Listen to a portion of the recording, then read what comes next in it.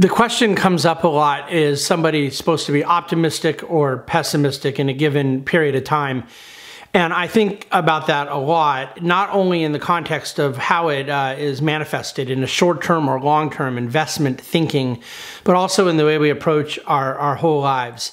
You can argue that some people that are sort of permanently optimistic, and I do my very best to be in this camp, um, are susceptible to potentially ignoring bad news or not fully processing risk at a given point in time.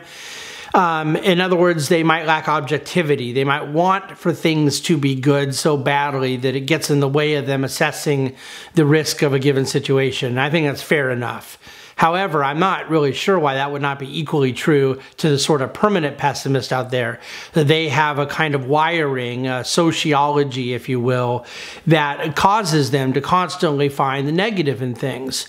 In my case, being an admitted optimist by nature, I believe wholeheartedly that this optimism stems from something very objective and very empirical. I have lived through multiple market crashes in my career each one of which was followed by incredible recovery, incredible uh, health in the economy, and rewards to investors.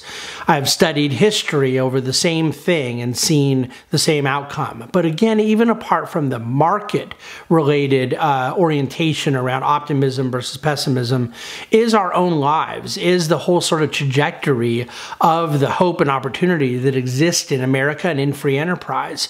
I think it would be incredibly non scientific scientific and certainly non empirical to be wired towards the pessimistic view of things.